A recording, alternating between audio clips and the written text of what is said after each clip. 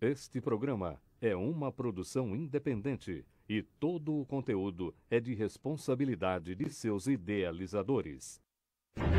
A partir de agora, através do estúdio Giro Mix, programa Linha Aberta. Apresentação: Vander Luiz e convidados com entrevistas e muita informação. Imagine esse milkshake Bob's aí agora na sua casa. Você merece. Chama o Bob's. Qual sabor você quer? Chocolate? Morango? Nuts? Crocante? Faz o seguinte, pede um sabor de cada para deixar a família inteira feliz. O melhor milkshake, o original, deliciosamente aí na porta da sua casa. Chama o Bob's, peça pelo seu aplicativo favorito. Vai de milkshake original, vai de Bob's.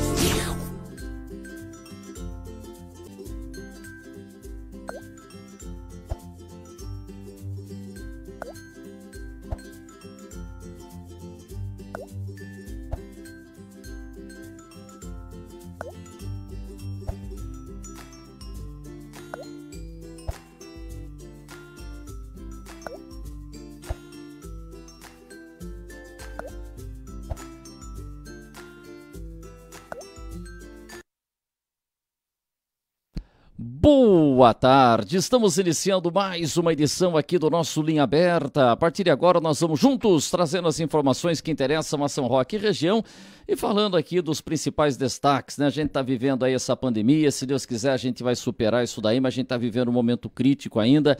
E amanhã o governador Geraldo Alckmin, em nome da saúde... Falei Alckmin, Geraldo Alckmin? Falei, poxa, voltou. É que o Geraldo Alckmin foi tanto tempo... É, como diz o Piniquinho lá na Câmara, eu falei errado para ver se estavam prestando atenção. Está prestando atenção, parabéns.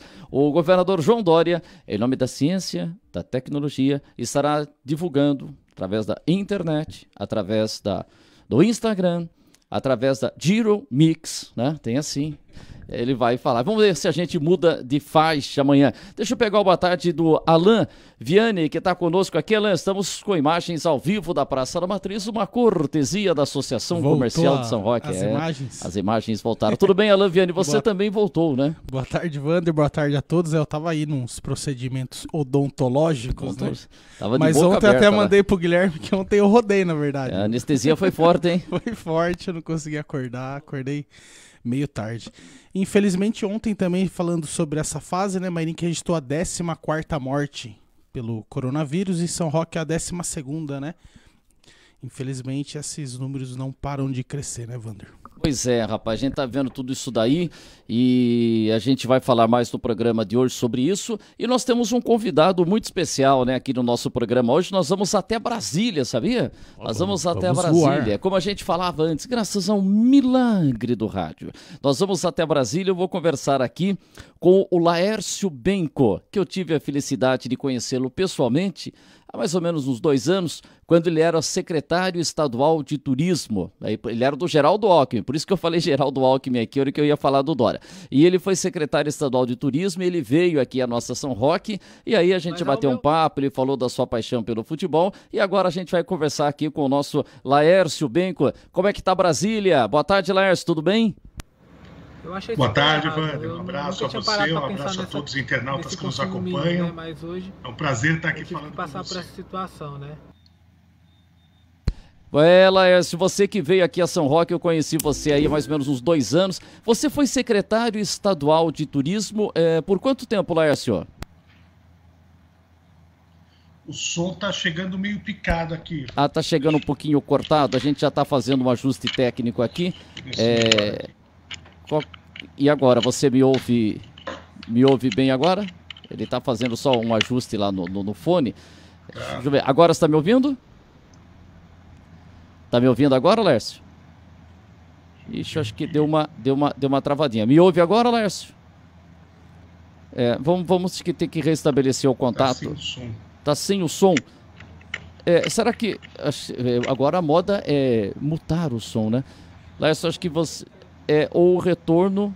Deixa eu ver se o Laércio. Não estou conseguindo te ouvir. Tá, vamos fazer o seguinte: vamos tentar uma conexão nova, Guilherme. O Guilherme vai, vai fechar e vai abrir uma nova conexão aqui. Faz parte, né, da, da, da, da internet e tal. E a gente já vai Rapidinho. conversar aqui com o Laércio Benco, que foi secretário estadual de turismo e hoje está trabalhando lá em Brasília.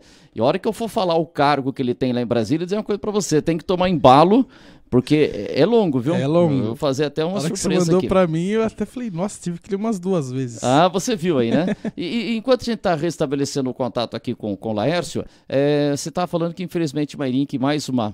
Ontem mais duas vítimas fatais. Duas vítimas. Em São Roque mais uma vítima e hoje tem o pronunciamento do Cláudio Góes, Cláudio né? Góes às, às 18, né? Sempre às 18. Vamos ver quais medidas. Acho que ele vai esperar o pronunciamento do, do governador João Dória amanhã para ver qual fase São Roque permanece. Vamos ver quais medidas o Cláudio e o, o João Dória vão tomar amanhã e hoje, né?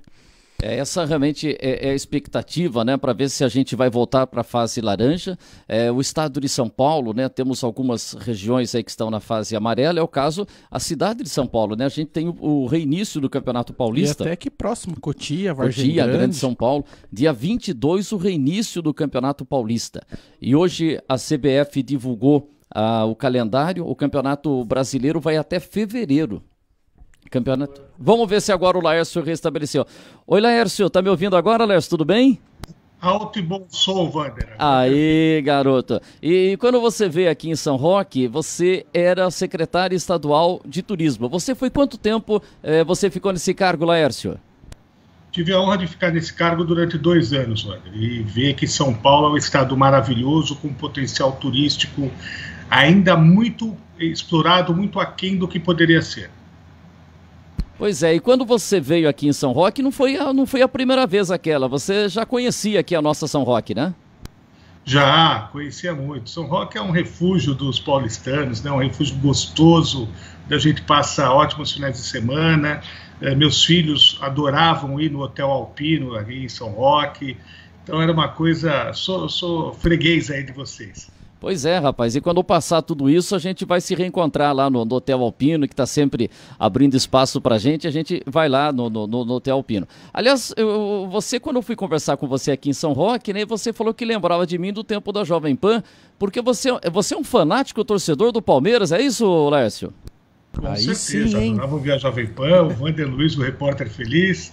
E sou palmeirense, tive a honra, inclusive, de quando fui vereador em São Paulo, eu criei o Dia do Torcedor Palmeirense dia 12 de junho, comemora-se em São Paulo o dia do torcedor palmeirense. E, legal. E, e, essa data 12 de junho, porque foi, olha, se posso estar enganado, mas 12 de junho de 93 foi quando o Palmeiras voltou a ser campeão paulista em cima do Corinthians, 92 ou 93? Exatamente, é esse é o mesmo? dia da paixão palmeirense. É, o dia que o José Silvério falou, eu vou soltar a minha voz, com aquela emoção. Então você escolheu esse dia, Até né? Até me arrepia. É, uh, e, e, você escolheu esse dia porque quando o Palmeiras voltou a ser campeão, né? Então eu lembro foi que era a, realmente uma. Foi a primeira vez que eu vi meu time campeão, então foi muito bom. Ah, mas peraí, você nasceu em que ano?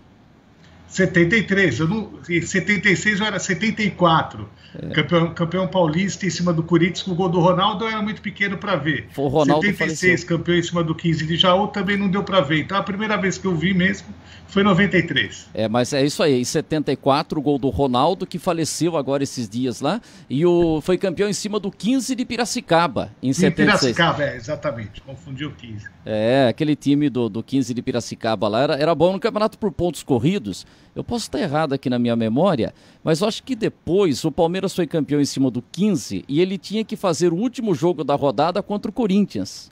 E aí, como o jogo já não valia mais nada, aí parece que o Corinthians não queria jogar, já tinha alguma coisa nesse sentido. O técnico do Palmeiras era o Dudu. E o Palmeiras Dudu. tinha o Jorge Mendonça, era o grande nome daquele time, né, o, o, o Exatamente.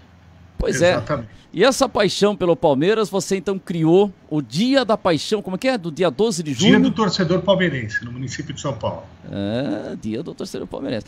E, e aliás, perguntar uma coisa para você. Você acha que está na hora de voltar o futebol, realmente, já dia 22, ter o reinício do Campeonato Paulista? Ontem nós tivemos lá o final do segundo turno do Campeonato Carioca. A gente já está na hora da volta ou, ou tinha que esperar um pouquinho mais, Lércio? Não, acho que já passou da hora da volta, Wander. Acho que nós temos toda a possibilidade, condições aí do, de voltar aos jogos de futebol com segurança, com testes dos jogadores, com isolamento. Defendo ainda por enquanto os estádios vazios, mas sem dúvida nenhuma o futebol tem que retornar Primeiro, porque é uma paixão que vai ajudar muitas pessoas a, se distrair um pouco mais. Segundo, porque é um mercado muito importante da economia e, e imagina se os, os, times grandes, acho que tirando o Flamengo e o Palmeiras, que tem uma condição financeira muito forte, eu acho que os demais clubes já estão sofrendo muito com isso. Então passou da hora, já passou da hora de voltar ao futebol. Bom, então batendo um papo aqui, eu vou fazer, a gente está vendo na legenda, você está acompanhando aí que o Laércio Benco é ex-secretário estadual de turismo do estado de São Paulo, ele esteve nesse cargo é, durante a administração do governador Geraldo Alckmin, né, um dos mandatos do Alckmin. Mas você já tem uma experiência política muito grande. Por exemplo, né, você foi vereador em São Paulo, né? Como é que foi sua experiência como vereador em São Paulo aí, Benco? Olha, foi muito boa. Acho que qualquer político que se preze tem que ter essa experiência de ter sido vereador. Porque de todos os cargos na política, aquele que mais aproxima o cidadão do, do, do, do poder público, aquele que mais aproxima o político do cidadão. Então você tem ali eh, eh, os gabinetes sempre lotados, os cidadãos sempre atrás dos vereadores, porque quando uma pessoa tem um problema e precisa de ajuda, ela não vai procurar deputado, não vai procurar governador, ela procura o prefeito e o vereador. Então, a vereança é uma experiência fundamental para quem quer crescer na vida política. E, e, como é que foi, por exemplo, São Paulo é uma cidade muito grande, né? São Paulo, pô, é, é duro encontrar uma comparação para São Paulo. A gente está acostumado aqui em São Roque, 15 vereadores tal. Agora, São Paulo são 55 vereadores? 55. 55. E como que é numa metrópole, por exemplo, é, esse contato? Você, por exemplo, tinha uma determinada região dessa cidade, da cidade que você ficava mais? Qual era a, a, zona que você trabalhava mais aí? Eu, eu, tinha um pouco mais, eu tive uma votação um pouco mais expressiva na Lapa, que é o bairro onde eu nasci, e tinha um, um eleitorado muito forte na zona leste da cidade de São Paulo. Mas eu não, nunca fui um vereador assim de um reduto muito forte em uma determinada região. Sempre tive a, votação pulverizada, que a gente sempre tratou de questões mais temáticas. Eu sempre fui um vereador mais temático do que um vereador assim mais uh, defensor de uma determinada região. Uhum. E depois, em 2014, você também foi candidato a, a governador. Como é que foi sua experiência de ser candidato a governador? Essa foi uma experiência maravilhosa que me possibilitou andar todo o estado de São Paulo, conhecer praticamente mais de 200 cidades, o que eu tive a oportunidade de ser candidato a governador. Creio que através dessa candidatura consegui ter a visibilidade necessária para depois me tornar secretário de turismo. E sem dúvida nenhuma, você participar, por exemplo, de um debate de TV para um político que está em início de carreira é, é, a mesma sensação que um jogador de futebol tem de entrar no Pacaembu lotado. Então, é, é, é foi muito boa essa experiência. Eh, tive uma votação muito boa, terminei em quarto lugar nas eleições e fiquei somente atrás das candidaturas ali mais as dos partidos mais tradicionais, do Alckmin, do Padilha e do SCAF.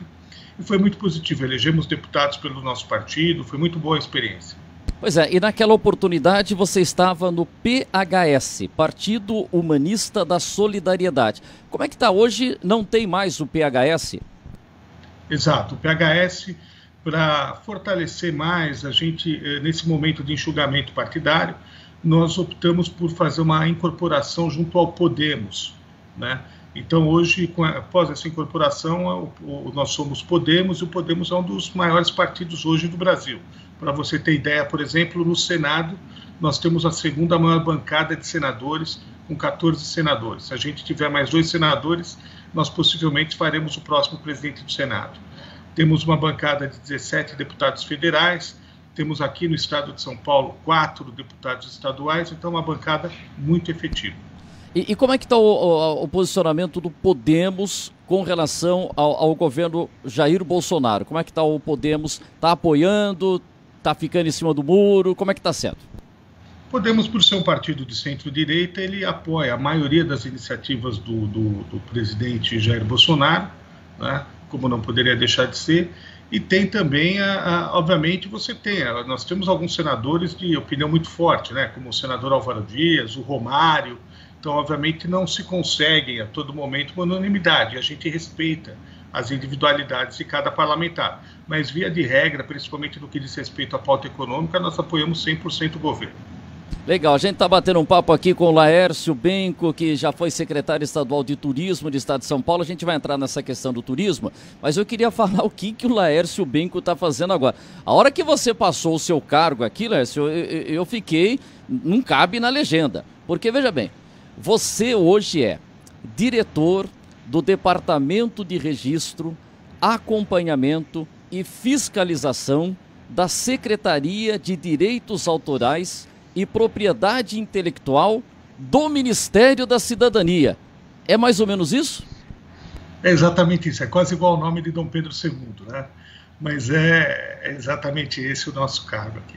E, e, o que faz, vamos começar por partes aqui, o, o Departamento de Registro, Acompanhamento e Fiscalização né, da Secretaria de Direitos Autorais. Como é que é o seu trabalho aí? Olha, é um trabalho novo, né? Uma, nós estamos aqui numa secretaria nova, recém-criada. Ela foi criada em 2015, após a CPI do ECAD. O ECAD é aquela entidade que faz a arrecadação de direitos autorais. Se você tem uma casa noturna, se você tem um restaurante, um hotel, você recolhe os direitos autorais para o ECAD. A nossa diretoria ela fiscaliza as entidades que fazem a arrecadação de gestão coletiva de direitos autorais o caso mais conhecido é o próprio ECAD. Então, nós verificamos se a arrecadação dele está sendo feita de forma correta, fazemos anualmente a habilitação deles, porque eles só podem fazer a arrecadação após serem habilitados pela nossa diretoria. Fazemos anualmente a fiscalização das suas contas para verificar se, de um lado, estão arrecadando o dinheiro de forma correta e, de outra, estão distribuindo para os, os titulares de direitos autorais, os cantores, principalmente os compositores, se eles estão recebendo esses recursos corretamente. Então é, é, é, um trabalho bastante árduo, porque nós ficamos no meio de duas pontas, porque quem recebe sempre acha que recebe pouco, que são os artistas, quem paga sempre acha que está pagando muito, que são as rádios, TVs, os promotores de evento, e nós ficamos nesse meio aí para tentar administrar de, da melhor forma possível a situação. Para se ter uma ideia da importância disso na economia, ano, em 2019 o ECAD Somente o ECAD arrecadou e distribuiu mais de 1 bilhão e 300 milhões de reais. Pois é, esse é um assunto interessante, só isso daí já seria pauta no programa, essa questão do direito autoral. E, e, e o Laércio Benco falou isso daí, que, tu, que, que a gente vê realmente. O artista, o compositor, o autor, dizendo que recebe pouco. E diz que, olha, não estão fazendo o levantamento correto. E quem paga? Emissora de rádio, quem organiza um evento, fala que paga muito. Como é que tá para fazer esse, esse encontro aí? O que, que vocês têm feito aí para tentar aí? Quem é que tem mais razão nisso daí? Quem está reclamando que paga muito ou o autor que está dizendo que ganha pouco, o, o Benco? Olha, nós temos que. Uh, a gente tem que olhar de uma forma imparcial. Mas, sem dúvida nenhuma, há várias incongruências, há várias inconsistências na cobrança desses valores de direitos autorais que a gente pretende, aos poucos, ir corrigindo. Por exemplo, nós temos rádios aí que pagam valores muito altos, considerando o seu faturamento. Hoje, por exemplo, você tem rádios na cidade de São Paulo que pagam mais de 50, 60 mil reais por mês para o ECAD, é um valor bastante alto. Nós temos também muitos eventos que são cobrados de forma um pouco acima do que deveria ser cobrada. É uma coisa muito complicada de fiscalizar, porque nós temos que fiscalizar praticamente os eventos que acontecem nos 6 mil municípios do Brasil, eh, as rádios que estão em todo o Brasil. Então, são critérios que a gente pretende, a partir de agora, criamos inclusive uma comissão permanente agora que vai ser instalada a partir do próximo mês, para efetivamente, junto ao ECAD, buscar adequar da melhor forma possível esses critérios de arrecadação. Porque, sinceramente, nós temos algumas questões, por exemplo, algumas pessoas que, no meu entender, reclamam com razão, como aí em São Roque a gente tem muito disso, os hotéis, a rede hoteleira é muito forte, os hotéis são obrigados a pagar ECAD por hóspede no quarto. Poxa, o ECAD ele tem direito de arrecadar sobre, uh, sobre exibição pública de, de obras, de, de, de obras musicais. O, o, a pessoa que está no quarto ela só pode ouvir um, uma música se ela tiver no Spotify ou se ela tiver ouvindo um rádio, se ela tiver no YouTube. E tanto Spotify como qualquer rádio quanto o YouTube já pagam o ECAD. Então é uma cobrança em duplicidade. Então nós temos várias incongruências que aos poucos a gente vai procurar isso daí. Quer dizer, é um assunto realmente polêmico. O, o nosso Alan Viane está aqui. O, o Alan, para sua alegria, é palmeirense. Opa! Ai, ai, ô, Alan, faz uma pergunta é, aí pro nosso. Grande convidado palmeirense. Bem, é... Parabéns pela, é. pela, pelo dia do palmeirense. É, Laércio, em relação à internet, né? Você tocou nesse ponto. Hoje em dia, a maioria do, do, do, dos youtubers, né? Eles, eles, na edição de vídeo, eles usam trechos de, de filmes, trechos de músicas. Como que vocês estão trabalhando para isso? Para não ter essa cobrança, às vezes, de derrubar um vídeo na internet, no YouTube. Como que vocês trabalham nesse caso? É, na realidade, eh, o YouTube já paga um valor significativo para o ECAD. Então, tanto é que nós uh, saíram algumas matérias agora por conta da pandemia, muitos artistas fazendo lives, né, e o ECAD cobrando sobre essas lives. E eu mandei um ofício para o ECAD, assinei esse ofício anteontem, pedindo esclarecimento sobre o que justifica a cobrança dessas lives, sendo que o YouTube ou as plataformas que disponibilizam essas lives já pagam também o ECAD. Então, qual a, a base para isso? Então, essa é uma situação, como ela é nova e, e por conta da pandemia ela foi uh, ainda maximizada, né, que a, a, a, a, produção da realização de eventos pela internet. Então, essa é uma questão que a gente vai ver, mas sempre protegendo a lei, sempre protegendo o bom senso, porque eu particularmente entendo primariamente aí que uma live não deveria pagar o direito autoral, porque onde ela já está sendo exibida já paga. Então, isso é uma cobrança em duplicidade. Pois é, esse é um assunto bem interessante, bem polêmico. Eu estava rapidinho aqui enquanto o Laércio estava falando, eu dei uma entradinha aqui no site do Decad e tem, por exemplo, as música, a música mais tocada no carnaval, Mamãe Eu Quero, de Jararaca e Vicente Paiva. É a música mais tocada aqui em casa de festas e diversão. Parabéns a você. E essas músicas são antigas. Agora aqui na festa junina está tocando muito aí do, do, do Mário Zen do Palmeira, Festa na Roça. É, o, o, artista ele tem direito de receber por uma música é, por um período, não sei se é isso, 60 anos, ou por, ele continua recebendo sempre, o autor de uma música recebe sempre, o Lércio? É uma tabela um pouco complicada, tá? Porque você tem a música, mas depois você pode fazer um arranjo diferente sobre a música e aí você acaba contando novamente o prazo a partir do momento em que foi feita aquela modificação. Então você tem, a, a grosso modo, o prazo é de 50 anos, tá? resguardado no caso de falecimento aos seus herdeiros. Mas há algumas formas disso se prolongar por algum, por algum tempo maior. Ah, tá. Não é uma regra assim peremptória. Ah, não tem assim que cai em domínio público. Por exemplo, um, um tem, livro com tem, mais de 60 anos. Temos várias obras já em domínio público tá? Mas tem várias obras antigas aí que, por ter um arranjo novo, por ter uma formatação nova, acabam tendo prorrogado essa, esse direito de, de recebimento dos direitos autorais. A gente fechar esse assunto aqui, o Vinícius Paz, olha, o Vinícius Paz é músico aqui da nossa região, de São Roque, Mairim, que é alumínio, é, tem feito lives também. Deixa eu ver o que o Vinícius está colocando aqui. O ECAD arrecada uma parcela do montante de exibição via plataformas de streaming.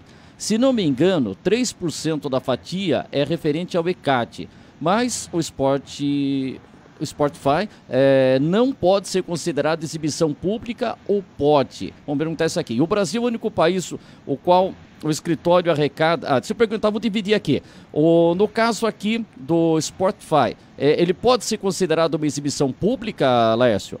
Sim, sim, porque o Spotify ele é uma espécie de rádio praticamente, né? Então ele se equipara a uma rádio aí no, na, na, exibição de música. Você pode ouvir onde você quiser ele está lá disponibilizado para você. Então, é, o Spotify, sem dúvida nenhuma, tem que pagar o ECAD.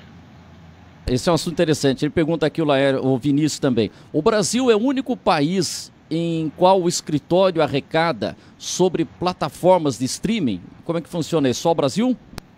Olha, nós inclusive, por conta da pandemia, a gente está um pouco desmobilizado aqui, mas é um do, a pergunta é bem interessante porque é um dos, primeiros te, um dos primeiros temas que nós vamos tentar fazer contatos com os ministérios de cultura ou similares dos outros, dos outros países para que a gente possa verificar como que eles estão fazendo isso. Mas em vários, uh, em relação à cobrança sobre plataformas, na maioria dos países sim já é cobrado. O que a gente quer verificar é sobre essa possível duplicidade no caso de uma live, por exemplo. Bom, e estou recebendo agora uma pergunta, vou entrar no turismo aqui, ó. Quem está mandando uma pergunta é o Lolo Lisa. E o Lolo Lisa esteve ao seu lado aqui em São Roque, Lércio, porque ele é o presidente do Contur. Ele tinha acabado de tomar posse no Contur, Conselho Municipal de Turismo, e ele está ainda, está nesse cargo, está firme. E o Lolo Lisa está perguntando aqui, ele gostaria de saber Como é que você acompanha, como ex-secretário, como é que vai ser a retomada do turismo no estado de São Paulo e no caso aqui de São Roque, Lércio? Olha, vai ser uma retomada triste. Eu acho que nós vamos ter eh, o turismo em São Paulo é pujante. As 70 instâncias, das 70 instâncias turísticas de São Paulo, nós temos aí 40 ou 50 que são muito boas, como São Roque é uma delas, são instâncias de verdade mesmo.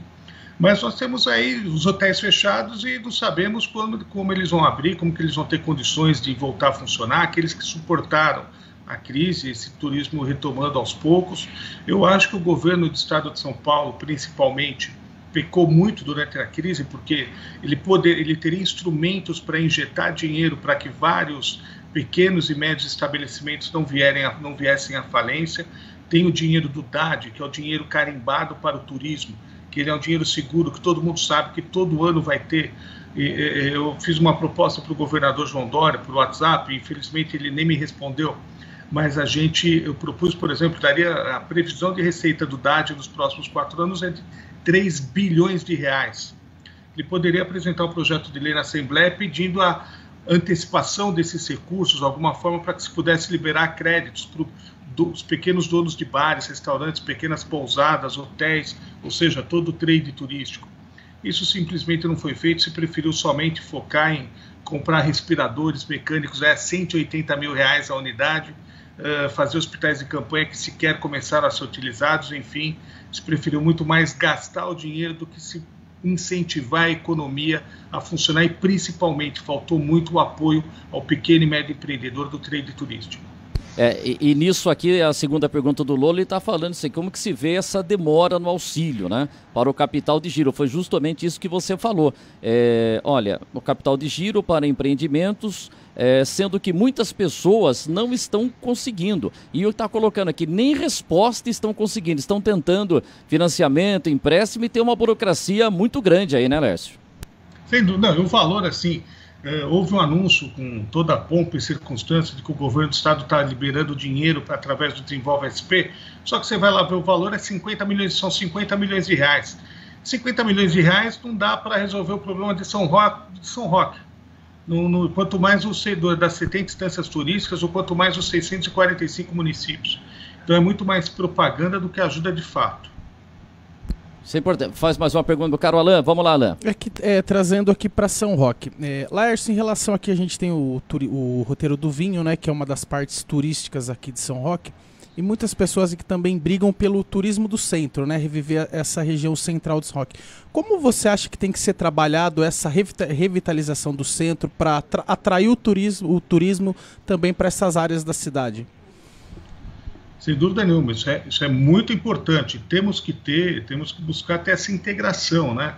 E sem dúvida nenhuma, aquelas cidades que têm o centro revitalizado, que fazem obras, que deixam um centro aconchegante, isso atrai cada vez mais os turistas. Porque não adianta, São Roque é uma cidade com um clima maravilhoso, com hotéis muito bons, mas não é interessante para a cidade que o turista vá, fique dois, três dias dentro do hotel e depois volta. Ele tem que ter as, os atrativos para passear. Então, além, obviamente, da Rota do Vinho, aí, que eu já cansei de fazer várias vezes, que é maravilhosa. Uh, uh, tem o Centro de São Roque, que é muito bom, que poderia ser uh, ainda mais revitalizado, ainda melhorado, em prol, inclusive, do, de gerar receitas para a cidade e de ajudar os comerciantes aí que estão estabelecidos há muitos anos. Pois é, é importante a gente falar de turismo. E eu quero só pegar um detalhe aqui de quando o Laércio esteve aqui. Aliás, até o nosso Guilherme vai colocar aqui, resgatou do nosso site aqui, vai mostrar até a imagem que a gente fez de quando da presença do, do Laércio aqui. E eu lembro que você falou, Laércio, o seguinte, como secretário de turismo: é importante que a cidade tenha uma identificação. Então lá a gente tem Varginha, cidade do, do ET. Tal cidade aí, eu não lembro agora, não sei se é Joanópolis, é a cidade do, do lobisomem. Aqui. Lobisomem. É, lobisomem, é Joanópolis, né? Isso. Joanópolis. É, e aqui nós temos a marca do vinho. Quer dizer, é, é importante que a cidade tenha é, essa marca. A marca do vinho é, é muito forte para a gente. Ficar no vinho ou você acha que poderia criar mais alguma coisa também, Lércio? Olha, eu acho que São Roque ela tem a questão do vinho, tem a questão do clima, tem, é, é, tem uma questão que é fundamental, que, que é a proximidade da, do grande centro que é a cidade de São Paulo. Então, dá para você esquecer que o mundo existe durante três dias com um deslocamento que dura 40 minutos. Então, é muito positivo tudo isso. Mas o importante é criar realmente produtos, é transformar os passeios em produtos, os passeios com alguns rótulos, porque todo mundo, o turista, ele gosta disso, ele gosta de poder falar que está na cidade tal, com tal atrativo, para poder colocar. Porque antigamente o turista fazia o quê? Ele, quando muito, ele comprava um rolo de filmes, isso não é da minha época, mas é da época do Vander Luiz. É sua, um rolo sim. de filme de 12 fotos, né? E tirava algumas fotos. Tá? Hoje, a todo momento, ele está postando no Instagram, está postando no Twitter, está postando no Facebook, está colocando onde ele está. Então, isso é fundamental a, a, a instância turística ajudar dando esses produtos para eles colocarem. É isso aí, o cara chega na cidade, ele já faz uma foto ao lado do garrafão do, do, do, do vinho, o cara vai lá em Exato. Itu, na Praça Padre Miguel, já faz a foto do lado do orelhão. É, isso é uma coisa, a fotografia saiu do papel, foi pro digital e ficou muito hum, veloz a coisa, e isso funciona muito. O próprio turista, ele faz essa divulgação para outras pessoas, né, Lércio? Sem dúvida nenhuma, o turista é o melhor disse- disseminador da- da- da- da- das características e das belezas da cidade. É, e outra pessoa importante que eu sempre falo que tem que trabalhar, com o taxista. Taxista também é fundamental nisso aí, porque o cara chega ali pro taxista, pergunta, e se o taxista não tá orientado, ou se ele Posto não. de gasolina. É, posto de gasolina. É, tem locais que são chaves, né? Não é que o, o- o taxista vai pegar o turista e vai falar só bem, coisa boa, não vai falar que tem alguma falha, não. Mas também ele não pode, ele tem que conhecer. Então acho que a prefeitura tem que fazer um trabalho, pega os taxistas, olha, vem um dia aqui, vão conhecer um pouco aqui as adegas, conhecer o esqui e tal, para quando chegar o freguês ali e perguntar pro taxista, o taxista vai ter o que, vai ter o que falar, né? Porque o taxista e o frentista, como falou Ele aqui, vira um agente de é, turismo, né? são fu- fundamentais, né, ô Lércio?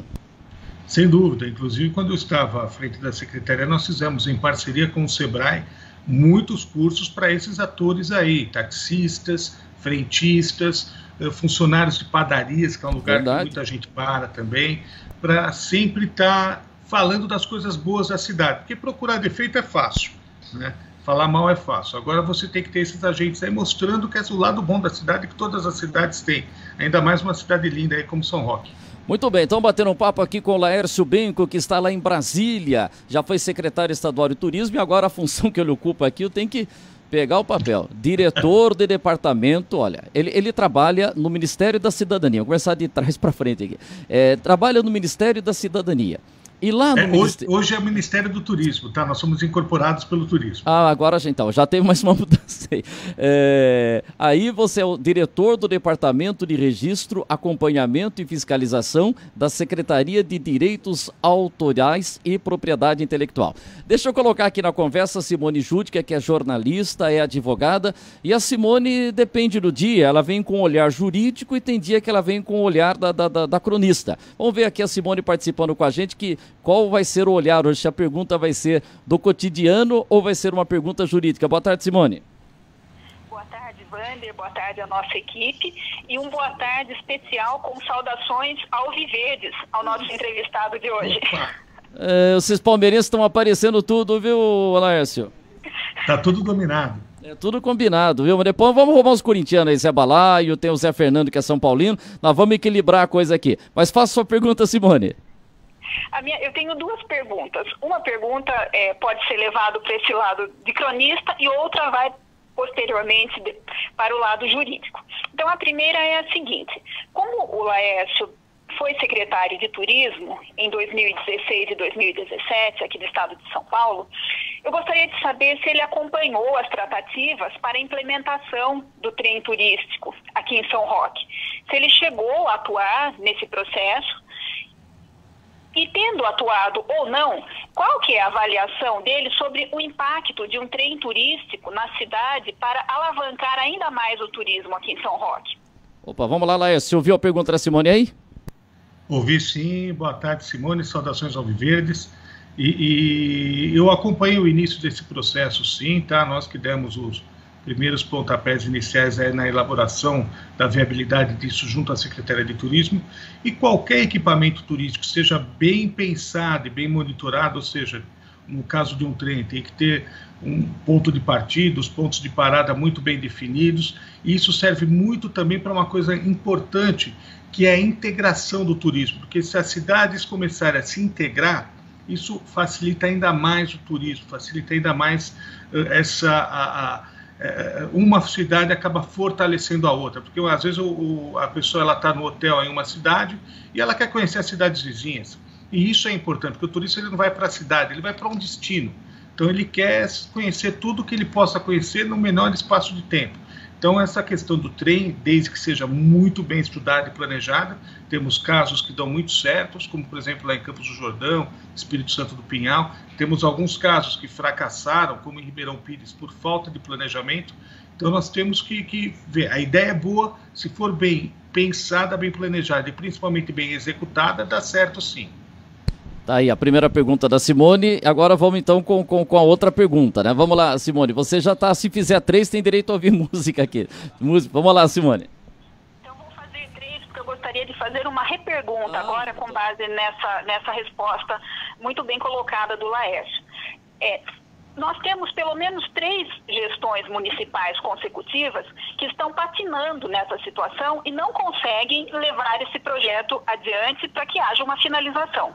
Será que existem tantos entraves que impedem que esse projeto seja concluído ou isso pode ser interpretado talvez como uma falta de preparo é, ou um desinteresse para que isso saia realmente do papel e se torne realidade? Tá, enquanto a Simone vai ouvir a resposta, é só o seguinte, aqui a gente tem uma, muitas vezes falando, né, não estou justificando o mas falo que tem dificuldade no, no trilho, é, que estava da CPTM, aí passou para rumo, tá, mas como é que você vê essa pergunta aí da Simone? Eu acho muito bem, muito interessante, não querendo aliviar aí para os prefeitos, o prefeito atual, para o prefeito anterior, que são de ideologias distintas aí, mas uh, eu acho que o que falta é um pouco mais de mão forte da própria Secretaria de Turismo, uh, porque sem dúvida nenhuma um trem ele precisa de para fazer essa viabilidade você precisa de um apoio do governo do Estado de São Paulo, tanto para a questão dos trilhos quanto para a parte da integração das cidades. Muitas vezes é, eu, sempre, sempre repito isso e repetir que é muito importante você integrar o capital turístico da, da cidade com as cidades tendeiras, com as cidades vizinhas. Então, se houvesse um papel de gestão, de inteligência mais forte da própria Secretaria de Turismo, acho que os prefeitos teriam mais melhores condições de realizar esses projetos. Ok. Então, Simone, vamos lá então para a terceira pergunta aqui da, da Simone Júdica aqui. É, tem que falar um pouco do Corinthians também, viu, Simone? Vamos lá, Simone, faz sua pergunta aí é a seguinte: é, eu gostaria de saber se esse ramo em que o Laércio trabalha cuida também do registro das patentes. Porque, enquanto advogada, eu já tive a oportunidade de, de vivenciar situações em que as pessoas querem dar início ao registro de uma patente, seja de uma invenção, seja do nome de algum estabelecimento, e elas acabam desistindo no meio do caminho, porque o processo leva anos e é muito custoso. Então, gostaria de saber se existe alguma ideia, algum plano aí por parte do governo no sentido de facilitar esses registros, não facilitar é, descuidando-se do processo, mas fazendo com que as pessoas consigam cumprir as exigências que muitas vezes são inexequíveis. Opa, vamos lá. E aí, Laércio? Olha, a questão de marcas e patentes, ela fica distrita ao INPI, que é uma outra entidade e, sem dúvida nenhuma, a doutora Simone ela colocou bem, havia muitas dificuldades para se levar registro, mas a gente tem que falar as boas notícias também. Nos últimos anos, se você entrar recentemente agora no site do INPI, a gente vai verificar que está muito mais desburocratizado para se registrar marcas e patentes. Ainda assim, se necessita sempre de, uma boa, de um bom auxílio jurídico, mas eh, hoje está bem mais fácil do que era antes. É, eu tenho umas ideias boas, viu, Lércio? Depois eu vou patentear umas ideias aí, viu? O que, você acha? O, é só falar. É só vamos patentear uma, mas aí o, o, Milton Neves, sabe que o Milton patenteou? É, São Paulo, torcer para o São Paulo é uma grande moleza. É, Palmeiras, como é que é? Em verde e branco eu curto o seu encanto. Você chegou a ter esse adesivo que o Milton Neves distribuiu, Lércio? Já, já, já peguei peguei do Milton. Tenho, tenho a honra de advogar para o Milton, tem uns dois ou três casinhos aí, a gente tem uma proximidade muito grande. Ah, se pegou uns casinhos do Milton, então já, já, já tá bom, né? Você foi lá na, na, falar com o nosso Kennedy lá na, na, na... O Kennedy é meu irmão. Pô, Kennedy é um cara maravilhoso, rapaz. Adoro o Kennedy, trabalhava com a gente lá na PAN e depois é, junto com o Milton e tal. E é muito legal. Então você teve esse contato com o Milton aí e a gente está sempre acompanhando o trabalho da memória que ele faz. Porque é isso que eu esqueci de falar, você também é advogado, né, Lércio? Eu não falei aqui, você também já trabalhou muito nessa área. E você, inclusive, olha, já levantei a ficha aqui. Na defesa do consumidor, você criou a Associação Brasileira dos Contribuintes. Como é que era esse trabalho aí, Lércio? É um trabalho que a gente, durante algum tempo, uh, hoje está um pouquinho melhor, mas durante algum tempo a gente tinha uma figura de Sua Excelência o Fiscal. Né? Então você tinha os contribuintes ali recebendo fiscalizações da Receita Federal, da Secretaria da Fazenda do Estado, e totalmente, de formas totalmente arbitrárias, sem tratando mal os contribuintes, sem dar direito, prazos, direitos de apresentar documentos, umas situações muitas vezes absurdas e muitas vezes a pessoa, o contribuinte, ele não, não queria denunciar um fiscal, porque ele ia ficar exposto. Então, por isso que daí que houve a, a ideia da criação da ABC, Associação Brasileira dos Contribuintes, para que nós fizéssemos esse trabalho para não deixar impune muitos, muitos tratamentos que muitas vezes eram absurdos sobre os contribuintes. E graças a Deus a ABC permaneceu durante muito tempo aí, está ativa até agora aí, fazendo muito trabalho. Legal. Simone, seu colega de, de, de OAB aí, o, o Laércio, tá ok ou tem mais alguma pergunta aí? Pois é, é bom saber né, que estamos conversando com um colega e além de um torcedor palmeirense. então tá bom. Tem mais alguma pergunta? Wander, não tenho pergunta, mas eu só tenho uma atualização da nossa disputa aqui, Ministério Público Prefeitura. Falo agora? Pode falar. E essa disputa é do Hospital São Francisco, até pro Laércio que está acompanhando a gente. O prefeito Cláudio Góes requisitou respiradores lá do Hospital São Francisco. Aí tem uma polêmica e temos a polêmica de São Roque na faixa laranja ou na faixa vermelha. Então qual que é o destaque, Simone? Hoje o destaque é na polêmica faixa laranja ou faixa vermelha. Nós informamos ontem que, o, que a prefeitura recorreu perante o Supremo Tribunal Federal. Então, e hoje nós já temos a novidade que sabemos quem é o relator que dará a decisão, que é o ministro Dias Toffoli. Então, mais uma vez, nós estamos aguardando a decisão do ministro Dias Toffoli, Toffoli para uma questão aqui de São Roque. Para ele dizer que se São Roque continua na vermelha ou volta para a laranja. Isso. Muito importante essa informação. Vamos aguardar, já que amanhã a gente vai ter uma nova classificação do governo do estado, né, Simone? Isso mesmo. Vamos aguardar, quem sabe até saia ainda hoje essa definição e nós acompanhamos e já transmitiremos aí aos nossos leitores, aos nossos ouvintes internautas. Legal. Obrigado, hein, Simone? Tem mais algum detalhe? Não, eu que agradeço. Obrigada ao doutor Laércio pela pelas informações, pela sua participação conosco hoje. Legal, muito obrigado. É, Laércio, você vê que coisa, né? Você que, que é da política também, essa briga que a gente está tendo com alguns prefeitos não concordando. São Roque estava na fase laranja, voltou para a fase vermelha porque faz parte da região de Sorocaba, aí para a fase vermelha. Só que o prefeito Cláudio Góes aqui de São Roque, que é do mesmo partido que o Dória, o PSDB, entende que São Roque fez a lição de casa, é, que tem leitos, tem UTI para atender é, pelo número de mortes, número de casos, que São Roque não deveria voltar para a fase vermelha, ficou na fase laranja, até que o Ministério Público é, recorreu, foi parar em segunda instância e São Roque voltou para vermelha. Como é que se vê essa briga aí entre prefeito, o Cláudio não fala em briga, né? Fala de não estar tá concordando, mas de, de, prefeito com governador, de governador com presidente, fazendo com que chegue até Brasília para decidir se São Roque fica no laranja ou fica no vermelho, o Laércio. É absurdo. Critérios que, para se colocar aí, que pese mereçam, os profissionais mereçam nosso respeito, mas são critérios totalmente absurdos. Por exemplo, quantidade de leitos de UTI, percentual de ocupação, isso da região, isso não significa. É, é, é, é, esses critérios eles são apenas um atestado de incompetência para o governo do estado de São Paulo, de mostrar que há um grande desequilíbrio no serviço, no serviço de saúde. Porque UTI lotada, Wander, não é só agora com Covid, não, muito pelo contrário, agora as UTIs estão até mais vazias. É, eu, principalmente, falo por São Paulo, por exemplo, na cidade de São Paulo, se você vai no Capão Redondo, se você vai na, na, na, na, Zona Norte, ali no Hospital da Cachoeirinha, ali sempre teve UTI lotada, sempre, desde sempre. Não é por conta da Covid agora que as UTIs estão lotadas, não. Tá? Então, essa questão de disputa são por alguns critérios objetivos que vão querer ficar criando esse oba-oba para ter o que eu apelidei de show do Dória, todo dia, meio-dia aí na TV, em todas as, as em todas as emissoras aí. E eu digo para todo mundo: isso aí vai continuar enquanto tiver dinheiro público para gastar. Quando terminarem de torrar tudo, vamos parar com isso a vida vai seguir normalmente. Com a Covid, sim, a Covid é uma doença séria, só que é mais uma doença séria. Não é a única, não é a última, não é a primeira. Em breve nós teremos a vacina, mas nós não podemos ficar confinados e parados enquanto a vacina não vem.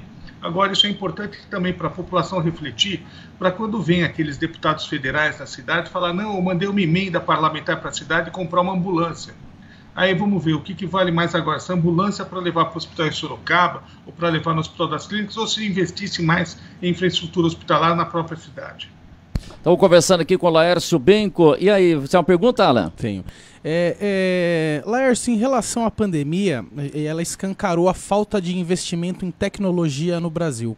Como você vê essa pós-pandemia, assim, essa questão do investimento, questão também de desenvolvimento de vacina, de máscaras, de IPIs, em questão de tecnologia, como que você vê isso pós-pandemia? Você tem toda a razão, Alan, porque hoje uh, o Brasil principalmente entrou no comodismo de importar tudo da China, né?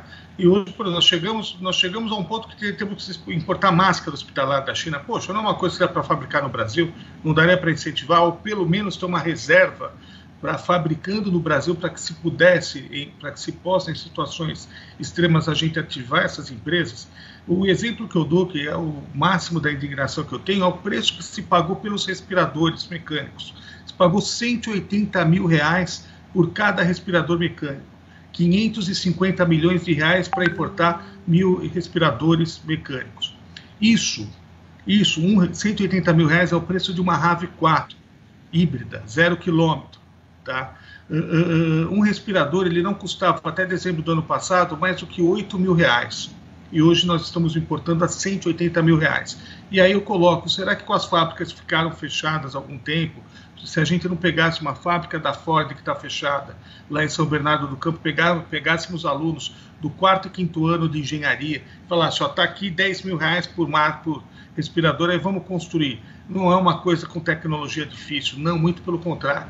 Então nós os apequenamos, nós os acomodamos e deixamos boa parte da indústria brasileira morrer. E aliás, nós temos fabricantes de respiradores no Brasil. Tem a WEG que está fabricando, inclusive, pra, por um preço infinitamente melhor do que ela, do que se está pagando pelo, pelo, é, pela importação. Uma empresa estabelecida em Santa Catarina que está fabricando aqui no Brasil com preço pela metade do valor do que a gente paga importando. muitas vezes, e ainda a gente vê governos estaduais, governos municipais importando da China.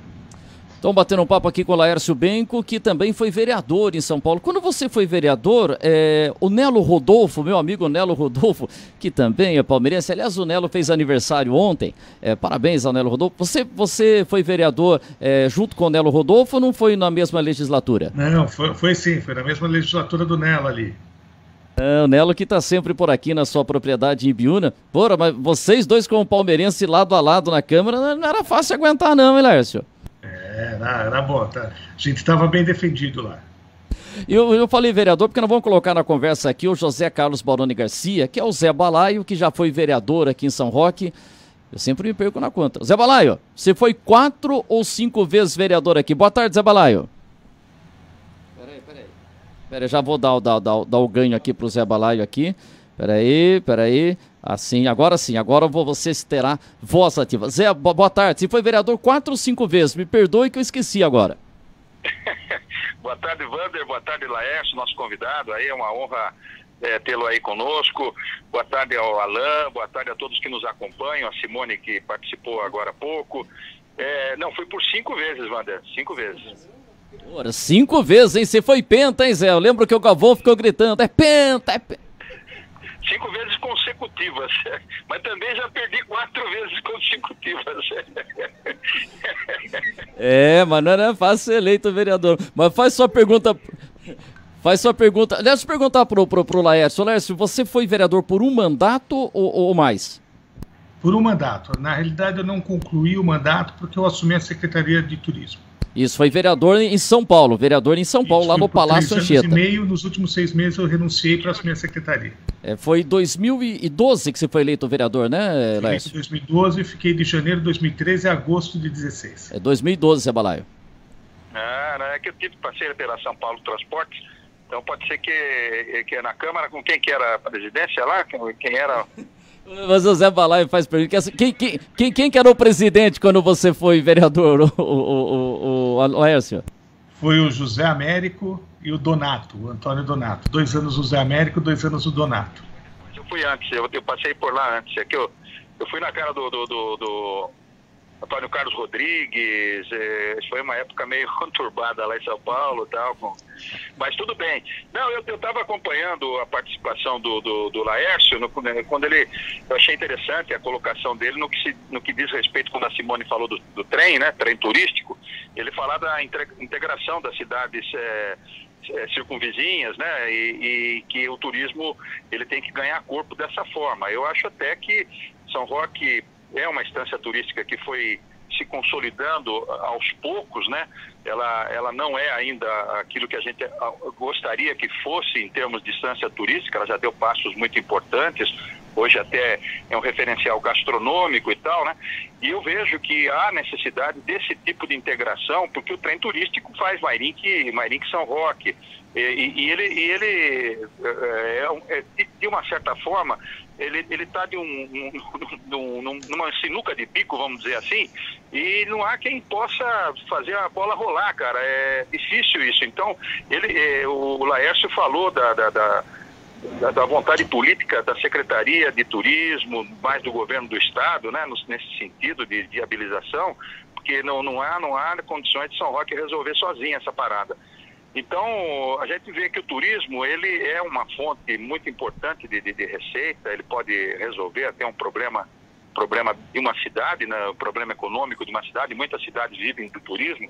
Então eu queria ver com ele é, é, essa questão do, interesse turístico a, nível, claro, do estado de São Paulo, que a gente está falando, é, quais as ações que o governo, o governo tem tem encetado, porque o DAV a gente sabe lá a questão do, dos projetos que são viabilizados, os recursos anuais para, para os municípios, é, garantidos inclusive na Constituição do Estado. Então, o que, que, o que, que falta, Laércio, para que o governo dê essa, é, é, essa atenção maior para o turismo, que, que, é, como você falou, ele é um, um um, um, potencial, digamos assim, que é, o maior interesse é o do, do, do, governo do estado para que a cidade possa realmente, é, as cidades, né, no caso de turísticas ou de interesse turístico, possam se desenvolver. Então, o que, o que falta nesse aspecto aí? É um trabalho mais de, das regiões metropolitanas ou, ou, ou, especificamente cada município tocar o seu próprio projeto e, e depois ir lá bater na porta do governador para procurar um um recurso específico para ele? O que está faltando nesse aspecto de empurrar a, a questão turística para cima mesmo? Deixa eu passar para responder. Como diria o Milton Neves, o, o Zé Balá e meu caro Lars, você fez uma pergunta de repórter de jornal. Porque o repórter de rádio pergunta mais depressa, a televisão. O repórter de jornal, que o Milton falava, é pergunta de repórter de jornal, que foi, foi, foi. E essa pergunta de, é, de do, do, Zé Balaio, como se estivesse no plenário, o que está faltando para a gente empurrar esse turismo para frente aí, Laércio? Olha, eu acho que eh, nesses últimos anos o que tem faltado aqui no, no turismo em São Paulo, infelizmente, uh, respeito ao governador João Dória, apesar de não concordar com muitas atitudes que ele tem tomado na pandemia. E um dos erros que ele cometeu foi ter assumido o governo já pensando em ser presidente da República. Tanto é, isso a gente pode ver pelo, pela, pelo secretariado dele. Tem pelo menos sete ou oito secretários que não conhecem o estado de São Paulo, que não são de São Paulo, que são ex-ministros do governo Temer.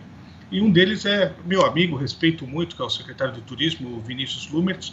Mas o Vinícius Lumertz, ele precisa de pelo menos dois ou três anos para saber o que é São Paulo, conhecer as instâncias turísticas de São Paulo e, e, a gente tem que respeitar projetos nas pessoas. E todos nós sabemos que o projeto do Lumertz e de outros uh, alienígenas que estão aí no secretariado são de ficar aqui dois ou três anos e depois construir seus projetos nos respectivos estados. E isso atrapalha um pouco quando você fala em investir no estado de São Paulo. Então, houve, uh, houve algumas atuações importantes da Secretaria de Turismo do Estado na gestão Dóris. Eu ressalto principalmente uma que era uma que eu defendia com o governador Alckmin. O Alckmin não tomou uma atitude que o Dória tomou, que foi reduzir o ICMS do combustível de aviação em São Paulo. Isso vai ajudar muito na indústria do turismo aqui no estado de São Paulo. Mas essas questões locais eu tenho certeza que o secretário de turismo ele não sabe se São Roque fica no litoral, se fica na Serra da Mantiqueira ou se fica perto de São Paulo. Então, com isso, fica difícil dar andamento a projetos de interesse turístico e de interesses do Estado de São Paulo. Tá aí a resposta do Lárcio Ben, que já foi secretário estadual de turismo. Zé Balaio, deixa eu voltar com você aqui, Zé Balaio. Faz mais uma pergunta. Tem mais uma pergunta, Zé Balaio? Não, estou satisfeito aí. E não vou cornetar você, pode, pode, pode perguntar. Não, não, tudo bem, tudo bem. Ele tá, eu, eu uh, concordo com essa visão que ele deu, eh, de que realmente a gente percebeu, não, eh, não que tenha eh, afetado demais o, o, o, turismo, mas a gente vê que o governo do estado não tem, não tem dado esse retorno como a gente imaginava que fosse, porque, tudo bem, nós, nós, podemos até justificar em, alguma, em alguns aspectos a questão da pandemia, né? Mas, de qualquer forma, a, a viabilização de projetos, mesmo que seja a elaboração de projetos para o pós-pandemia, alguma coisa nesse sentido, não poderia parar, né? E a gente vê que há um, ficou realmente alguma coisa a desejar nesse período aqui, eu concordo com essa avaliação que ele fez, dessa questão aí da, de, de secretários não terem é, o conhecimento da, da, da, pasta e o conhecimento dos problemas dos municípios nesse aspecto turístico, né, no, especificamente, ele citou o caso do secretário atual. Então, a gente vê realmente essa, essa não seria orfandade, mas não está tendo aquele apoio que, que havia no, no, passado. Então, eu acho que é por aí mesmo. A gente tem que, ter, tem que ter, fazer pressão política, os prefeitos é, da, das instâncias devem ter seus mecanismos aí de pressão para que as coisas possam ser viabilizadas. Legal, Zé. Zé, e me ajude aqui. O, não, mas Zé Balai, me ajude aqui, pô. Você é corintiano, pô. Só, ele só fala do Palmeiras aqui, o Laércio, pô. Fala do Corinthians, Zé Balai. Principalmente agora, eu fiquei sabendo é, que a Simone é palmeirense, cara. Eu não sabia até então, cara. É, agora foi para mim uma surpresa. O Marco Aurélio deve estar tá lá quebrando pau com ela agora. Porque ela, ela abriu o jogo agora, que é palmeirense, viu? E o esposo é corintiano. O Alan, eu, o Alan eu já sabia, né? Agora, o Laércio, Laércio é, é, é palmeirense, mas eu, o que eu tenho a dizer é que o primeiro, nessa volta do futebol, o, no dia 22, o Campeonato Paulista, o Corinthians enfrenta o Palmeiras, lá na, na, na Arena do Palmeiras, né? E nós vamos daí, vamos ver como é que é. Quem chora mais pode menos. É legal. Ô, Laércio, aí na sua casa é tudo palmeirense ou tem corintianos aí também, Laércio? Os corintianos não têm a chave de casa. Então, então só pode entrar se for palmeirense. Se cantar o hino do Palmeiras de trás para frente. Ora, o pessoal é radical. Mas, fala, fala, Laércio. Só para falar para o vereador aí que eu tô, vou pegar depois o telefone da doutora Simone, vamos entrar com mandado de segurança para que não precisa nem mais voltar Campeonato Paulista, é só dar taça para o Palmeiras e rebaixar o Corinthians. Tá aí, olha aí, olha o que o Lars falou. Deixa eu só pegar o Zé Balai aqui. O Zé, acho que você não viu essa resposta. Ele falou que vai pegar o telefone da Simone para eles entrarem na justiça para colocar o Palmeiras campeão e rebaixar o Corinthians e pronto, acabou, viu, Zé? É, o Corinthians, o Corinthians para colaborar com a, com a pandemia, não, não colocar muito a, a, nossa torcida em risco, nós já vamos cair fora da, das fases subsequentes do Paulistão, já, já não, vamos, não vamos nos classificar para as fases, para as fases seguintes. Então, para tudo para ajudar nesse processo todo aí de pandemia, que a nossa torcida é gigantesca, né? Apesar que no programa hoje a gente está em flagrante minoria, Wander, porque até o Vinícius é, Vinícius Paz aí está se manifestando, tem que ter o dia do palmeirense, que coisa mais horrorosa, meu Deus do céu. É, mas já tem, aqui já tem. Zé Balaio, um abraço, Zé Balaio. Outro, outro, Laércio, prazer conhecê-lo aí e vamos nos encontrar posteriormente no, no ao vivo e, e, em cores. Um abração, Laércio. Obrigado. Um abraço, vereador. É, é, isso aí. É importante a gente falar, aliás, o, o, pai do Zé Balaio foi duas vezes prefeito aqui em São Roque, José Fernando Zito Garcia, e quando o São Roque, quando o Zito assumiu, São Roque era um município de interesse turístico. E aí passou a ser uma estância turística, né, de, de, de, de fato, quando o Zito Garcia, o pai do Zé Balaio, era o prefeito. E isso é muito importante que hoje, né, é que nem futebol, né, Lércio? Tem município que é estância turística, e tem interesse turístico. Quem está indo bem como interesse turístico pode subir para a primeira divisão. E a estância turística que não fizer a lição de casa é rebaixada também, né, Laércio? Sem dúvida nenhuma. Uma das coisas que já deveriam ter sido, eu tirei esse projeto do papel, já deveria estar sendo implantado, infelizmente esse ranqueamento ainda não foi feito. São Roque é uma cidade assim, da, da, daquelas que não se não corre nenhum risco de rebaixamento, porque ela tem uma pujança, um, um, potencial turístico gigante. Mas tem aí pelo menos umas 10, 15 cidades aí que não tem nada de turístico e recebem dinheiro do DAD sem ter um leito de hotel. Então é muito complicado, essa é uma coisa que precisa ser melhor implantada. E por outro lado, nós temos cidades aí que são municípios de interesse turístico, por, por exemplo, Barretos. Barretos virou agora, da minha gestão, município de interesse turístico. nós temos Barretos com um potencial turístico muito maior, por exemplo, do que Tremembé, que ali só tem um presídio, nada mais, e ali é uma instância turística. É, é, o, é, isso daí que a gente. É o João Caramês, estava tentando lembrar quando você falava, o João Caramês, que é aqui da região, próximo Itapevi, ele que fez esse projeto de, de, de lei criando esse, esse ranking da, da, das instâncias aí. Foi o, o, João Caramês que fez esse projeto, Lércio. Sim, e, e com auxílio do meu antecessor na secretaria, que foi o governador Márcio França. Eu tive o, a honra de suceder o Márcio França na Secretaria de Turismo. Então, deixa, é, isso é importante, essa questão do, do turismo. Deixa eu aproveitar aqui, Léo, para falar com você. Deixa eu entrar. Uh, primeiro, eu quero dizer o seguinte: a gente respeita todas as religiões. Mas eu gostaria que o Laércio colocasse o ponto de vista, porque você é um bandista, não é isso, Laércio? Isso, exatamente. E, e, e a gente sabe que a Umbanda, o Candomblé, é, acaba sendo sofrendo muito preconceito. E você é um cara que trabalha, que batalha pela religião. Como é que se vê? Como é que é ser um bandista aqui no Brasil, ser um político? É... Como é que se vê? E você lutou por isso também, né? Sem dúvida. Eu, eu tomei posse como vereador vestido de Zé Pilintra em homenagem a, a esse dia tão importante na Umbanda. É, a Umbanda, é importante a gente dizer que é a única religião 100% brasileira. Né? A Umbanda é o sincretismo ela é a mistura entre o catolicismo, o kardexismo e o candomblé. Então, aliás, quando a gente fala Umbanda e Candomblé são coisas totalmente diferentes. A Umbanda é uma, a grande diferença, por exemplo, a Umbanda é uma religião cristã e o Candomblé não é uma religião cristã. E nós, assim, como minorias, nós entendemos. Eu, como cristão, sou um bandista, sou cristão, sou devoto de Nossa Senhora, que a gente chama de Oxum, mas é Nossa Senhora Aparecida. E, e, mas a gente tem que defender a liberdade de religião, isso é fundamental. Uh, se você não tem liberdade de religião, é, muitas vezes as pessoas, por exemplo, a gente está vendo aí o, o, o, esse caso que aconteceu com o George Floyd nos Estados Unidos, a questão do racismo sendo colocada para fora, etc. Mas nós temos preconceitos ainda maiores que o pre preconceito contra a liberdade de religião, ele é pior ainda do que preconceito racial.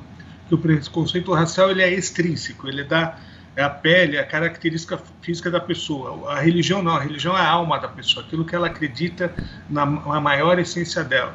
E muitas vezes a gente deixa de lado essa discussão da liberdade, do direito de você cultuar e, e, e ter a sua religião, ter a sua, sua fé respeitada.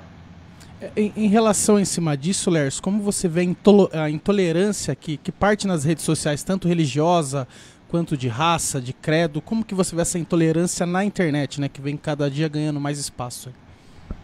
Não, é uma coisa absurda. Eu quando fui vereador, não foram poucos os casos que a gente que a gente ia socorrer, não divulgávamos, de terreiros de umbanda que, que eram invadidos e incendiados, eram roubados, eram quebrados, as imagens quebradas. Isso era uma coisa muito triste. E nós não divulgávamos isso na imprensa porque a gente sabia que se a gente divulgasse um caso, ia dar ideia para mais uns 10 imbecis fazerem a mesma coisa. Então, mas é uma, assim, é algo muito triste. E quando a gente vê esse tipo de manifestação na internet, quando a gente vê esse tipo de manifestação em, em, em, em redes que são concessões de TV, concessões de rádio, é muito, muito triste. Então, uh, se a gente não tiver o respeito, principalmente como eu falo, que puxando a sardinha um pouco para o meu lado, temos que respeitar todas as religiões, mas sabendo que no Brasil tem uma religião que nasceu no Brasil, que é a Umbanda. A Umbanda ela é brasileira, ela é nascida aqui no Brasil. Ela nasceu no início do século XX, uh, uh, com o sincretismo de três grandes religiões. Então, nós temos que respeitar isso.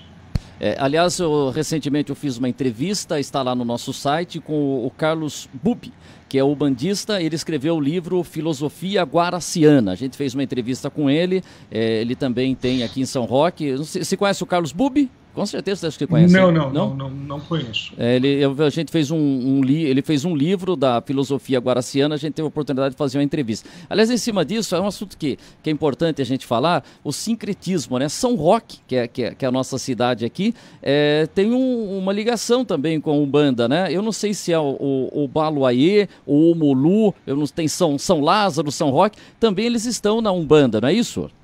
Sem dúvida, sem dúvida. São Roque tem uma ligação com o Baluaí, né, que é o orixá das curas. Né? Então é, é, maravilhoso. E a gente tem que, por exemplo, eu, eu, eu só 1% da população brasileira se declara de religião de matriz africana, mas no Réveillon a gente vê toda a orla marítima com todo mundo pulando sete ondinhas. E ninguém está lá pulando, pulando sete ondinhas, nem para o padre, nem para o pastor. Oh, então são sete? Eu normalmente pulava três. Então são sete? Sete, sete. o número mágico é sete certo. Ih, caramba, acho que então tava errado. vou perguntar para minha sogra, Dona Maria, que está assistindo, confirmar se a gente pulava, pulava sete ou pulava três, né? Então, então são sete, são sete. Sete como sete. Sete ondinhas, então. Agora, só em cima disso, teve uma polêmica que você defendeu um projeto é, do uso de, de animais em rituais. É, eu gostaria que você falasse, acho que é uma oportunidade legal de esclarecimento é, da utilização de animais né, nesses, nesses ritos. Como é que foi isso na Câmara de São Paulo? Paulo, como é que foi sua postura? Olha, isso na realidade é uma grande demagogia que acontece hoje, porque em alguns casos, nos rituais da Umbanda, como também em rituais eh, judaicos, por exemplo, tem algumas linhas do judaísmo que fazem isso, você precisa do, do orixá, ele precisa do sangue da galinha, o sangue de algum animal ali para você oferecer para o seu orixá, oferecer para o seu guia. E esse sangue, essa, isso daí só serve se o animal não tem nenhum maltrato. Ele é imolado, eh, ele não, ele não pode ter nenhum tipo de maltrato, ele é imolado e esse sangue é dedicado ao orixá. Agora, o, o, que me causa espécie, muita gente que vai é, que criticou esse projeto estava na porta do McDonald's comendo Mac Chicken, que é, se soubesse como é fabricado aquilo lá, aí sim queria ver o que é maltrato animal. E por falar em maltrato animal, eu fui o, o autor do projeto de lei que está suspenso, aguardando o julgamento do Supremo Tribunal Federal, projeto de lei que proíbe a comercialização de foie gras na cidade de São Paulo. Porque aí sim, o foie gras, o fígado de ganso, é uma coisa que tem sim um maltrato animal, porque o ganso ele fica lá enterrado vivo, recebendo a alimentação forçada para o fígado inchar e para você comer o fígado do ganso. Então, quando a gente, eu só admito alguém falar mal da, da, da nossa defesa da utilização do, do sangue de galinha na, na, na, porque também é só a galinha e uma vez ou outra a cabra. Não é nenhum outro tipo, ninguém pega gato, cachorro, essas coisas. Isso não existe. Pelo menos na Umbanda não. Tá? E, e então a, a, pessoa que critica quem faça isso, mas no dia seguinte está no rodízio, no dia seguinte está comendo no McDonald's. São coisas ah, um pouco incompatíveis.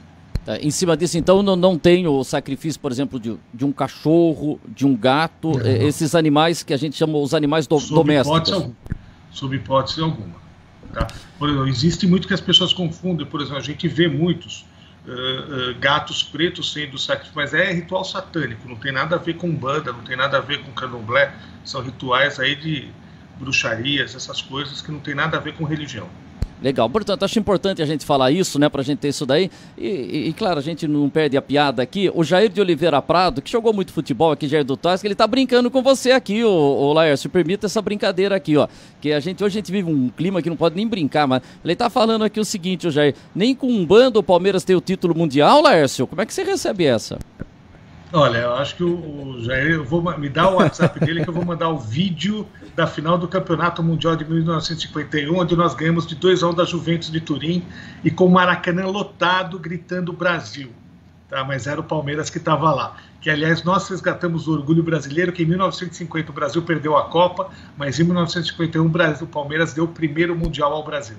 É verdade, foi feita essa competição, que era o torneio Rio 51, que a Caninha 51 surgiu em nome disso daí, e aí nós tivemos o Vasco da Gama chegando lá às semifinais, e, e a gente tinha boa parte daquela seleção brasileira, inclusive com o Barbosa. E eu tive a oportunidade de entrevistar o Richard, que era o mais novo, eu acho que naquele elenco do Palmeiras, acho que agora ele já faleceu, e ele lembrou para mim que no jogo contra o Vasco da Gama, numa dividida com o Barbosa, ele quebrou a perna. E, e, e foi realmente isso. Até a Rádio Jovem Pan, a Pan-Americana, fez uma grande campanha com o título de 51, com a narração do Pedro Luiz, né? E, e, eu considero o título de 51. É um título mundial, não é o título da FIFA, mas é um título mundial. E aliás, a gente tinha aqui em São Roque é, um, um, italiano que ele ouviu uh, o Palmeiras ser campeão lá na Itália. E quando ele chegou aqui no Brasil, é, ele já chegou palmeirense, porque ele tinha ouvido o Palmeiras ser campeão lá na Itália. Olha que coisa bonita. Ele chegou aqui falando assim: Eu sou palmeirense de coração, porque eu era menino e ouviu lá no radinho na Itália o Palmeiras ser campeão. Quer dizer, o Palmeiras conseguiu um torcedor lá na Itália. Que coisa bonita, Lércio. É isso aí. A história do Palmeiras é linda. Isso aí, deixa eu, deixa eu passar aqui pro. O Zé Fernando Rabequini faz uma pergunta aqui. O Zé Fernando tá na linha? Então, peraí, primeiro eu tenho que habilitar aqui. E tem que habilitar a voz Zé Fernando. Zé Fernando, você que está ouvindo tudo aí, agora vamos colocar um São Paulino aqui na parada aqui. Ô, ô, ô Zé Fernando, temos um palmeirense aí, o Laércio Benco aí. Agora você contra-ataca com São Paulo aí, tá bom? Boa tarde, Zé Fernando. Boa tarde, Vande. Boa tarde a todos. Boa tarde aos palmeirenses, né? Mas é isso aí, Vande. Se, se os palmeirenses sendo campeão do mundo, sim, eles são e acabou futebol, além de ser, vou repetir novamente, já falei isso aí, vou falar de novo, além de ser a coisa mais importante que existe, ainda tem essa vantagem, a gente pode se sentir é, campeão do mundo e acabou, fim. ah, tá. E você tem uma pergunta aqui pro, pro Laércio Benco, que foi secretário de turismo, Zé Fernando? Ah, é, vocês conversaram, falaram muito aí sobre, sobre essa parte de, de turismo e né, toda, toda a parte aí de Brasília, do Estado, eu sei lá, eu acho que ficou bem, bem esclarecido as coisas, né? Simone também entrou muito bem nas coisas dela, e acho que ficou bem esclarecido. Eu prefiro é, falar mais do Palmeiras e do São Paulo, viu? Então manda um recado para ele aí. Qual foi o... Então vamos fazer o seguinte, Zé. Qual foi uma vitória que você viu do São Paulo em cima do Palmeiras que para você foi a mais marcante? E aí eu vou pedir para o Laércio. Você como São Paulino, qual é o grande jogo contra o Palmeiras, Zé Fernando? Olha, uma coisa que foi marcante, eu trabalhava no Home Sport Clube de São Paulo, e o Rivelino, com os filhos deles, a, a ex-mulher dele, tudo eles, eles frequentavam muito lá, não saíam de lá. E a Roberta, a filha mais velha de Rivelino, era palmeirense por causa do avô, era palmeirense fanática. Seu Nicola. Era menin, menininha, tal, devia ter ali uns 9, 10, vamos dizer, essa idade. Era, mas palmeirense fanática. E houve uma partida, São Paulo e Palmeiras. O São Paulo ganhou, parece que de 6 a 2 6 a 2 né? Mário Sérgio marcou um gol de calcanhar. Mário Sérgio era, Mário Sérgio era ponto esquerdo do São Paulo e marcou um gol de calcanhar. Ela veio chorando, sentou no seu colo na segunda-feira e começou a chorar, cara, por causa da derrota. Eu tive que consolar ela, falar que foi meio sem querer, essas coisas às vezes acontecem. No outro, o Palmeiras ia ganhar demais e tal. Então foi uma coisa que ficou marcada. Ela, filha de Revelino, talvez o maior ídolo da, da história do Corinthians, né? E, e, e, ela, palmeirense, por causa do avô lá, do avô Nicola lá que ela tinha, né? Ela, palmeirense, fanática, e veio chorar e eu tive que consolar e dizer que a derrota do São Paulo, a vitória do São Paulo foi nada, foi uma porcaria. E tinha sido uma grande vitória, né? Calcanhar e tudo. É isso aí. Deixa eu passar aqui pro Lécio. Você com o palmeirense, pro Zé Fernando Vilar, passa pro Zé Vilar. É, qual foi o, a, a, maior vitória do Palmeiras em cima do São Paulo, Lécio? Olha, eu vou para dizer uma recente, né? Que o São Paulo faz tempo que não chega em final, que não ganha nada, é complicado. Mas eu citaria aí a semifinal de 2008, quando o Valdívia só faltou fazer chover no Parque Antártica, quando nós eliminamos a partida de volta ao São Paulo e depois fomos campeões paulistas em cima da Ponte Preta. Então, essa semifinal de 2008 me marcou bastante, mas quando a gente fala de São Paulo, não dá para esquecer jamais o Alex matando o Rogério Ceni dando aquele lençol maravilhoso. Foi o que lembrou o Alan, que falou, ele vai falar do, do chapéu do, do Alex. É esse daí?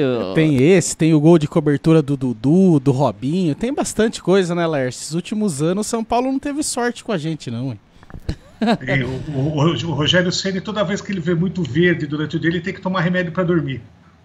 Deixa eu pegar aqui a resposta pro Zé Fernando. Ô, Zé Fernando, pega lá pro Zé Fernando ouvir. Olha É, o Zé Fernando, vamos ver se o Zé Fernando vai ter que contra-atacar agora. Pô, Zé Fernando, lembraram disso daí, falaram do Rogério Ceni e tal. Você tem um argumento final aí, Zé Fernando? Não, é, é a alegria deles. E depois, meu querido, para nós, São Paulinos, rei morto, rei posto. O rei agora é o goleiro que tá lá. Tem uma meia dúzia de tonto aí, que é da, da torcida uniformizada, que fica que nem viúva aí, chorando a morte aí, a saída do Rogério Ceni e tal. Mas pro São Paulino, aquele que é São Paulino de tradição, meu querido rei morto, rei posto. Ele ganhou os campeonatos dele, agora nós temos que ganhar com os outros. Quer dizer, paciência. Realmente ele tem razão, foi um golaço, né? O cara deu chapéu, embora que depois São Paulo derrotou o Palmeiras e foi campeão da, da, da, como é, da, da Rio São Paulo, né? O único título que a gente tem da Rio São Paulo foi esse. São Paulo, ele tomou aquele gol de chapéu, ganhou na outra partida semifinal, São Paulo parece que ganhou nos pênaltis, uma coisa assim, foi pra final e ganhou. Mas ele tem razão, foi um bruta de um golaço mesmo. Eu acho que é um, talvez o maior gol que esse jogador marcou. E num grande goleiro, né? Eu tenho várias propostas, mas é que eu vou começar brigando. Deve ser muito marcante mesmo. Esse momento foi marcante. Deixa eu passar aqui pra fechar aqui com o Laércio. Viu, Laércio? Tá aí a, a, o Zé Fernando pra gente finalizar esse papo de futebol. Só dizer uma coisa, hein? O padrinho de casamento do Zé Fernando, um dos padrinhos, é o Paraná que mora em Sorocaba hoje, né? O Paraná passava por São Roque para ir para São Paulo. O Cometa parava em frente ao bar do, do, do, pai do Zé Fernando, o bar Jangada, lá do Pascoal Rabiquini. Ficou tão amigo do, do, do, do, Paraná que o Paraná foi padrinho de casamento do Zé Fernando Rabiquini. E, aliás, é uma matéria muito bonita do Paraná ontem no UOL, contando toda a sua trajetória. O seu Genival Nunes, que é um São Paulino fanático, também ligou para mim hoje de manhã, porque ele guarda com muito carinho que um dia o pai do Zé Fernando trouxe o, trouxe o o, o Paraná aqui no São Roque Clube e o Paraná carregou o filho do seu Genival, o Genival Nunes Júnior, guardou essa lembrança aí. E outro detalhe, viu? Não é quase São Paulino Zé Fernando, não, viu, Lércio? O nome do neto dele é Rogério. Tá bom assim, Lércio? É. E eu tenho que registrar aqui para São Paulino que eu tive a honra de jogar futebol junto, tudo bem que eu não era lá essas coisas, mas joguei junto, ao lado do Sidney, grande ponto esquerda, e do Toninho, irmão do Sidney, que também jogou na ponta esquerda de São Paulo.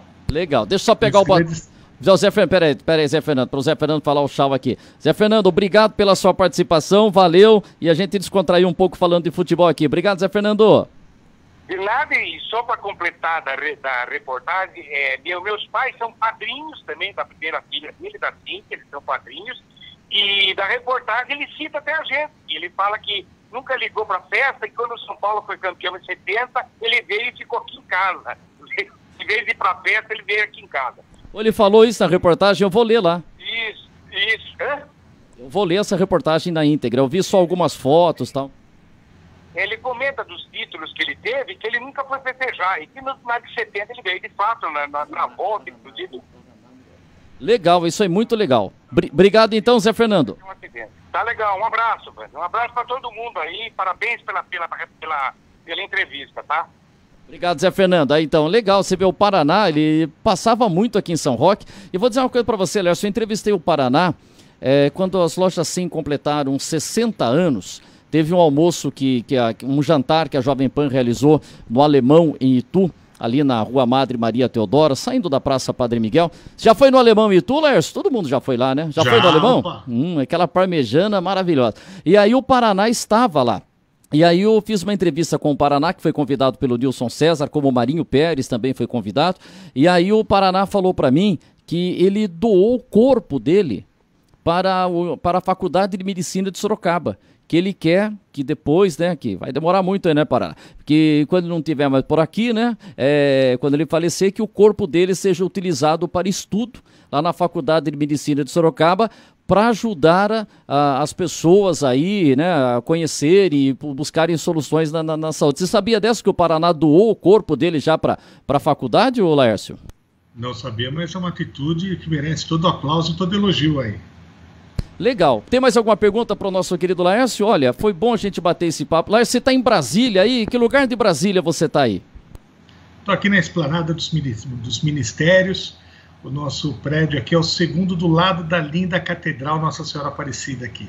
Então tem a catedral conta o primeiro e o segundo prédio onde a gente está aqui.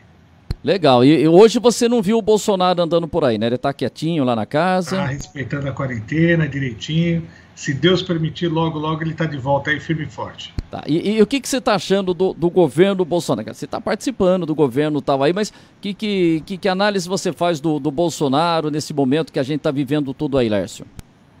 Olha, eh, ninguém pode. O Bolsonaro ele chegou à presidência por conta do esgotamento da, da paciência da população com o sistema político atual, porque você teve 30, 35% ainda dos eleitores votando no PT no segundo turno e todos aqueles que não queriam o PT votaram no Bolsonaro. Então, o Bolsonaro se consolidou como essa grande força antipetista no Brasil e por mais que algumas pessoas possam discordar dele, fazer críticas, uma crítica ele não merece. Ele está fazendo tudo aquilo que ele falou que ia fazer quando era candidato. Então ele não está sendo, ele não se elegeu com um discurso depois mudando a casaca e depois mudando a cara. Não, ele é exatamente aquela mesma pessoa que foi durante toda a campanha eleitoral de 2018 e está fazendo 98% do que ele falou que ia fazer. Infelizmente não dá para fazer 100%, mas as atitudes dele são totalmente compatíveis com o discurso que o elegeu. Então, por isso, ele não merece, ele merece respeito. Tá, e, e você foi secretário estadual de, de, de turismo é, com o Geraldo Alckmin. O Alckmin não está sumido demais, Lércio? Você tem conversado com o Alckmin? Ele não está quieto demais, o Alckmin? Olha, o Alckmin, ele tá, o, o, o, governador Alckmin é uma das pessoas, ele é uma pessoa muito inteligente, muito trabalhadora, ele lê muito, estuda muito, eu tenho certeza que ele está acompanhando aí tudo que acontece na política, mas, é, deve estar tá fingindo de morto, mas morto ele não está não. Dá uma, se der uma chancezinha para ele, ele volta aí. Opa, tá aí. É, é porque mesmo porque o, o, o, Dória não é unanimidade no PSDB, né? Que é diferente. Que o Lula lá no PT, o que o Lula fala é feito. O PSDB tem uma estrutura diferente. Mas quer dizer, é, o, o, Dória no PSDB em São Paulo, ele tem as suas resistências também, né, Laércio? Sem dúvida, tem. O PSDB é um partido complicado internamente, né? Sempre teve as, as facções aí, os, os grupos rivais internos, né? Uh, e hoje, tá, hoje até está um pouco pacificado, o Dória hoje ele tem um grande comando do partido, mas, repito, o, o, o, Alckmin, por exemplo, em 2006, ninguém, todo mundo dava ele como morto e se elegeu governador e ficou até 2014.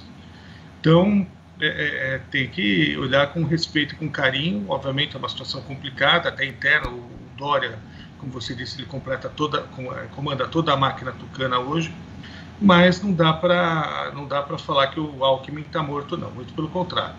Pô, legal a participação aqui do Laércio. Laércio Benco, muito obrigado pela sua participação. Já foi vereador de São Paulo, foi candidato a deputado federal na, na, nas últimas eleições, é, já foi candidato a governador do estado também e já foi secretário estadual de turismo e hoje está participando, está trabalhando. É o diretor do Departamento de Registro, Acompanhamento e Fiscalização da Secretaria de Direitos Autorais e Propriedade Intelectual do Ministério do Turismo. É isso? Turismo. Isso.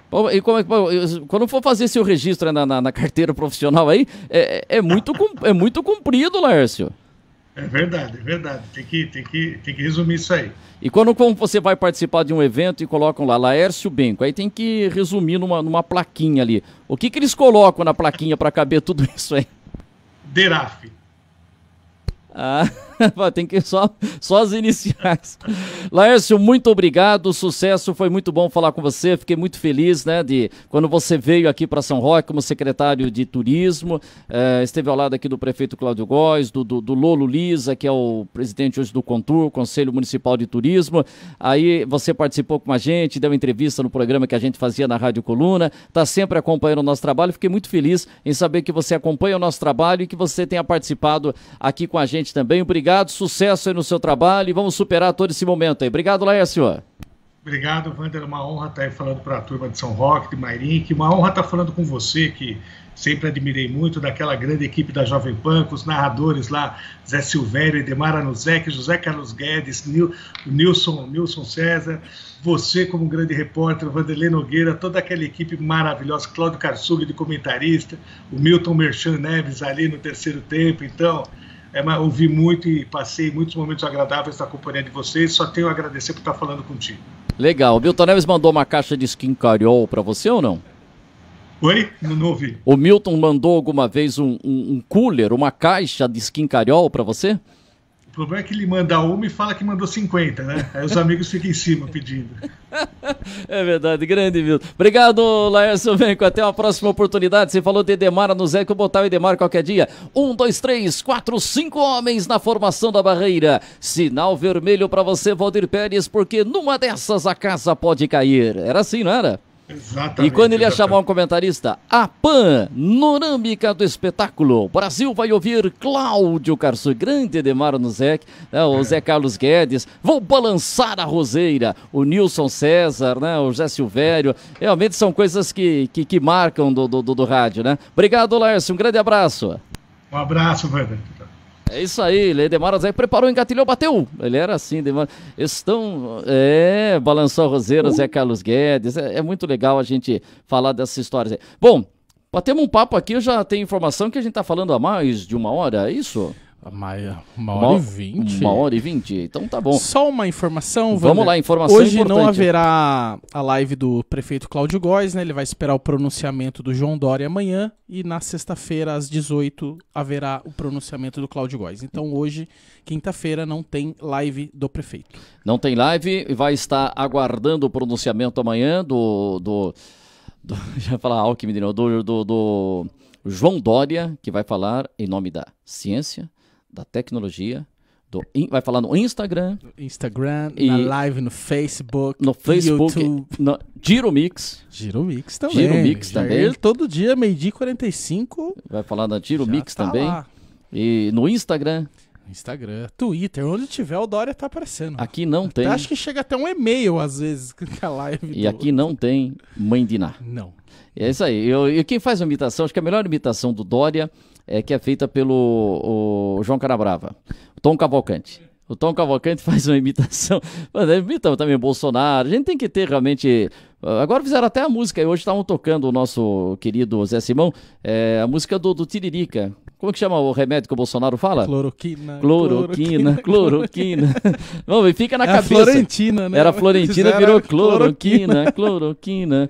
É, isso daí. Zé Simão, né? Zé Simão, ele, ele coloca sempre lá. Boemba, boemba. Bamba, bamba. É isso aí. Um grande abraço a todos. Ele faz lá junto com o nosso menino da porteira. Sabe que o Megali trabalhou lá na Jovem Pan e eu chamava ele de menino da porteira. Por quê? Porque ele nasceu em Ouro Fino.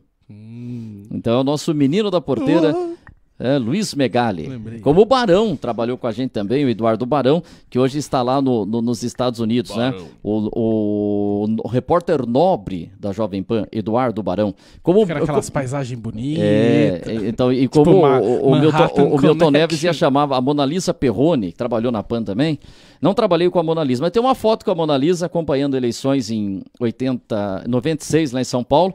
A gente acompanhava a Luiz Erundina e a Mona Lisa Perrone acompanhava lá pe- pela Rádio Bandeirantes. E o Milton Neves, quando ia chamar a Mona Lisa Perrone, falava: pinte o quadro, Mona Lisa Perrone. Era assim, tinha. Era, O Milton Neves tem umas sacadas muito boas. Eu tenho, tem. é- Ele tem um. É, uma, é o famoso Itaipu, né? Uma usina, Usina de de ideias. ideias. Grande Milton Neves que tá sempre mandando mensagem pra gente aí. Grande abraço. É, Jair, você vai falar, Jair? Obrigado, Guilherme. Eu tô com a sensação que eu tô esquecendo alguma coisa, mas eu acho que não, não tô Tem esquecendo. nenhum Não, merchan? Não, tudo lá. Eu- não, eu vou falar aqui dos nossos patrocinadores que estão importantes. O, o momento Milton Neves. Milton Neves mandou pra mim uma foto dele desse tamanho aqui. Passou um cara de bicicleta ali. Eu vou trazer essa foto aqui pra colocar. Estamos aqui no oferecimento de Pátio Corina, que tem drive-thru. né? Porque nós temos lá Boa. Doideja, Temaqueria, Cacau Show, Nação Verde, Rocker Cervejaria, Alfalit. Tô aprendendo a falar aqui, eh, comida árabe, uma delícia, entendeu? Ras Riveria, empresa de contabilidade. Deixa eu aproveitar, ó, vamos pelo que tá aqui com a gente, ó, vamos lá. Radmed, diagnósticos médicos por imagem, ó lá, ó a série de exames que você faz na Radmed. Ligue lá, tem na Rua Santana e também tem na Pedro II. É, o aplicativo Aqui São Roque, que tem guia comercial para você, tem muitas ofertas. É só você baixar o Aqui São Roque. O Pátio Corina, que está atendendo também com drive-thru. Ali estão as empresas que estão abrindo no drive-thru Pátio Corina. Ah, conosco também Ras Riveria, empresa de contabilidade e computação. 51 anos, hein? Completando já 51 Bodas de ouro. anos. Bodas de 51, bodas de boa ideia. É, boa ideia. Boa ideia. E aí nós temos também o Vinícola Góis, que tem aí o projeto Simes, uma parceria com uma adega chilena, espumantes e frisantes, né? E o Filosofia está tendo um relançamento aí do Filosofia. Entre lá, bem legal. Aliás, hoje tem uma live no Instagram do, da Vinícola Góis com o Luciano Lopreto falando de vinho lá. É, Alto Posto Castro, loja de conveniência aberta, do Segula atendendo lá, para você também, pelo drive-thru. Posto de Castro. E o São Roque Supermercados com grandes ofertas para você. Lembrando que a gente tem a terça-feira do boi para comprar carne. Boa. E depois, quarta e quinta, tem a hortifruti. Em São Roque, nós temos aí quatro lojas, né? Os endereços estão passando em toda a rede do São Roque Supermercados, que tem Mairim aqui também. O Bob's, hum, Esse é... o Bob's é uma delícia, viu? Eu vou até pedir para você fechar o programa com o milkshake do Bob's. Hum. Mas quer ver só? É, deixa eu falar aqui da Servitec, depois eu quero falar um negocinho do Bob's aqui. Servitec, controle de, de, de pragas, entupimento, entendeu? precisa ter uns ratinhos enchendo o saco lá, também pode chamar, que, que dá um jeito no, no, nos ratinhos tal, é, na Servitec. E eu quero aproveitar os outros colaboradores participando com a gente, então é Pati Corina, Rasreveri, Virícola Góis, a maior linha de patro... Como é que a gente falava no rádio? A mais categorizada linha de anunciantes do rádio brasileiro. Pátio Corina, Rasreveri, Vinícola Góis, Alto Posto Castro, São Roque Supermercados, Bob São Roque, Servitec Serione, Radmed Diagnósticos Médicos por Imagem, aqui São Roque. Ivan Gás e Água, delícia de água do Ivan, o gás lá também, no Jardim Granado, no Jardim Vitória, Abner Seguros e Gráfica Santo Antônio. Mas eu quero falar o seguinte aqui, olha o que eu recebi do Bob's aqui, ó. E a hora que eu recebi essa informação aqui, amanhã eu vou, eu vou divulgar com mais detalhes aqui, mas olha o que eu estou recebendo aqui. Agora você pode pedir seu milkshake Bob's preferido com marshmallow. Hum! milkshake com marshmallow. Hum, em outras palavras, sabe o que isso significa? Olha a minha interpretação. Veja se eu estou fazendo uma boa interpretação. Veja bem. É, agora você pode pedir o seu milkshake Bob's preferido com marshmallow. Hum, entre, outras entre outras palavras, sabe o que isso significa? Hum, nossa, uau, demais, quero. Pode ser no crocante, morango, paçoca, chocolate. Experimente. É só chamar o Bob's, agora também no aplicativo oficial do Bob's, chama.bobs.com.br. Ou em São Roque você pode fazer o seu pedido no 47846100 ou no drive-thru na Avenida Boa. Brasil 200. Que beleza, hein? Depois dessa aqui vai ter, vai ter lanche pra caramba, vai mandar ah. um caminhão de lanche para. E para fechar, põe aí um o milkshake do Bob's. Para você ficar com, com água na boca. Um grande abraço, obrigado Jair, obrigado a todos. Amanhã a gente volta, valeu, até amanhã. Imagine esse milkshake Bob's aí agora na sua casa. Você merece. Chama o Bob's. Qual sabor você quer? Chocolate? Morango? Nuts? Crocante? Faz o seguinte, pede um sabor de cada para deixar a família inteira feliz.